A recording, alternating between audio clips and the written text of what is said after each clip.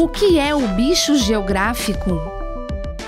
Então, o bicho geográfico ou larva migrans, que é o termo científico, é uma infecção da pele que é causada por uma larva que está presente nas fezes do, no intestino de cães e gatos contaminados. Esse verme é do gênero Ancilóstomo. Então, no intestino dos cães e gatos, ele está lá sobre a forma de ovos os cães e gatos defecam e liberam esses ovos no solo, principalmente o solo arenoso, e lá esses ovos vão virar larvas e, em contato com a pele, acabam desenvolvendo a doença. O que pode causar o bicho geográfico? A causa do bicho geográfico é exatamente o contato da pele direto com o solo contaminado.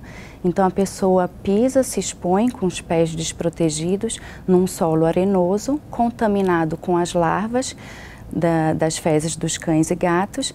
Essas larvas já estão no solo há algum tempo, né? Porque os cães e os gatos depositaram as fezes e os ovos. Os ovos encontraram no, na areia um solo quente e úmido e com isso se desenvolveram as larvas e essas larvas penetram na pele humana, daí causando a infecção. Existe uma época do ano mais propícia para o surgimento do bicho geográfico? O mais propício é a época que a gente está vivendo mesmo, verão, esse clima quente e úmido é que é o período ideal para esse desenvolvimento do, de ovos até larvas no solo. Né? Então, areia, o sol e o, o, e o clima mais úmido é o que favorece essa transformação. Então, atualmente, o clima do verão é o clima mais propício para isso. E é quando as pessoas vão mais à praia, têm mais contato com a areia. Quais são os principais sintomas do bicho geográfico? O principal sintoma é a coceira, prurido. É, o paciente ele vai notar primeiro uma lesão avermelhada, tipo uma picada de inseto, que foi o local que, o, que a larva penetrou na pele.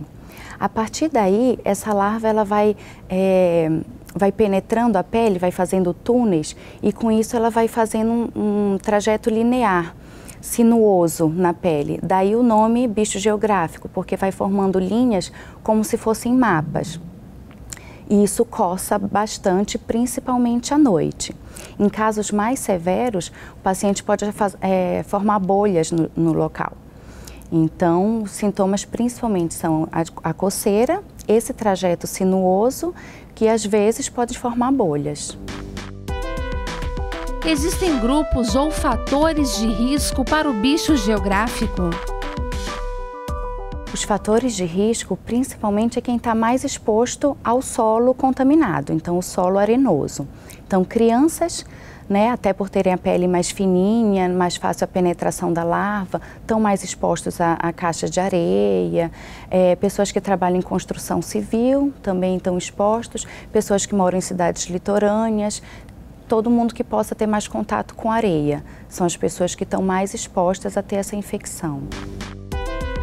O bicho geográfico fica somente na pele ou penetra nos órgãos? No humano, a larva fica somente na pele. Ela vai cavando túneis, né? então ela vai entrando é, nas camadas mais superficiais da pele. Não chega a invadir sistema linfático, vasos, sangue e ir para outros órgãos, não. Fica só restrita na pele. Já no cachorro e gato, aí sim o, parasita tem outro ciclo, né? Ele, o, o animal ele se contamina tanto pela, pela via oral, né, ingerindo alimentos do solo contaminado, quanto pela via cutânea, né, a larva também pode entrar na pele do cão e gato, e daí depois vai para o intestino e lá é que vai se desenvolver o ciclo do parasita. Então, nos cães e gatos, sim, passa, pode passar até pelos pulmões, intestino, mas no homem não, é só na pele. Como é feito o diagnóstico do bicho geográfico? O diagnóstico é clínico. É, como eu falei, a, a, lesão é bem clássica, é bem característica, né? São túneis, uma lesão linear de trajeto sinuoso, formando é, mapas, formando figuras. Então, o diagnóstico é clínico, não há necessidade de exame laboratorial para confirmar, nem exame de imagem, nem exame de sangue, é basicamente clínico. Quais são as partes do corpo mais afetadas pelo bicho geográfico? Bicho geográfico ele vai, é, vai aparecer principalmente em áreas que estão expostas a, a, ao contato direto com a areia. Então, pés é o mais comum, mas também pode aparecer em outros locais, tipo região das nádegas, mãos, é, abdômen, braços, até casos mais raros já tem lesão na face. Então, se a pessoa estiver deitada na areia, por exemplo, então toda parte do corpo pode ser acometida, mas o mais comum é a região dos pés e das nádegas. Como funciona o tratamento para o bicho geográfico? O tratamento do bicho geográfico é bem simples e bem eficaz. É, a gente pode usar antiparasitários do tipo albendazol, que normalmente é, são três tomadas, a ivermectina, que é uma tomada única, é, ou cremes à base de tiabendazol, normalmente se usa em torno de uma semana, e o resultado é rápido, em três dias mais ou menos o paciente já vai ter, vai ter melhora, principalmente da coceira, que é o que mais incomoda. Quais são as possíveis complicações para o bicho geográfico? Complicação se dá principalmente do ato da coceira. Então, o paciente coçando acaba levando bactérias que estão presentes na mão para o local da ferida, então a infecção secundária. E essa infecção pode tanto ser localizada, ficar ali no, no, local da pele, no local que o paciente coça, quanto às vezes pode levar a um problema maior, uma celulite, uma erisipela, é, mas tudo gira em torno da infecção pelo ato da coceira. O bicho geográfico tem cura? Sim, tem cura. O tratamento do bicho geográfico tem cura. Tem até alguns relatos que mesmo que se não faça um tratamento, é, ele vai acabar morrendo ali na pele sozinho, então que não precisaria tratar. Mas a gente não recomenda que se faça isso porque tem esse incômodo da coceira e tem as possíveis complicações por conta disso. Então, o ideal é tratar e, como eu disse, o tratamento é bem eficaz. Então, não, não, é, uma, não é um tratamento com tanto risco, com tanto efeito colateral. Então, o mais adequado é tratar e ter a cura e evitar as complicações. É possível prevenir o bicho geográfico? Sim, a prevenção a gente faz evitando andar descalço, né, protegendo os pés. É, quando for à praia, se for sentar na areia ou deitar, procurar colocar uma esteira, uma toalha, uma canga, né, para evitar o contato direto.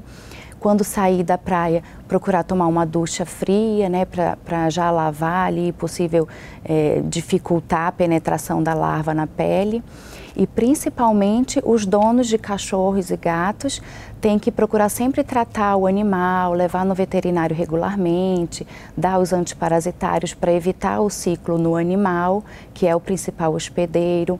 É, se levar em local com areia, procurar recolher imediatamente os dejetos, não deixar lá andar com cachorro ou gato de preferência num local da areia que fique mais em contato com o mar, né? Porque aí fica lavado ali, não fica, não dá a chance do ovo virar larva.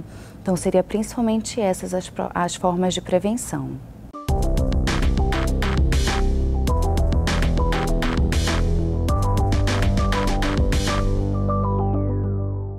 E para você que acompanha os nossos programas e gosta de estar por dentro dos assuntos da cidade e também do trabalho dos vereadores, se inscreva no nosso canal e confira tudo o que acontece aqui na TV Câmara. E se você gostou do nosso conteúdo, não esqueça de curtir nossos vídeos. Deixe aqui o seu like. Deixe o seu comentário e ative o sininho para ser avisado de todas as novidades.